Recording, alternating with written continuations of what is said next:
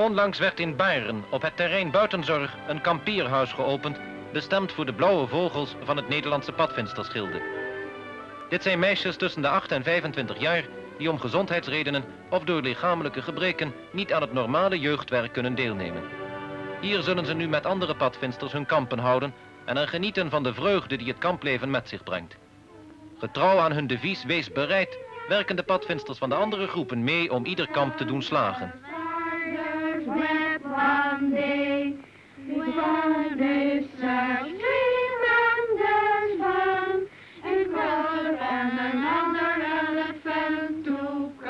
Kamperen maakt hongerig.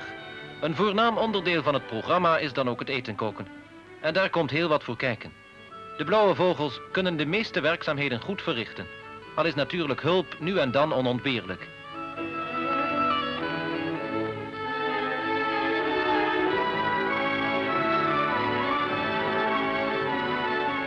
Ook bij het vuren stoken kunnen de blauwe vogels assisteren. Door het contact dat de meisjes in deze kampen met elkaar hebben, wordt het isolement waarin ze vaak leven, hier althans opgeheven. Velen putten daaruit nieuwe moed en levensblijheid. In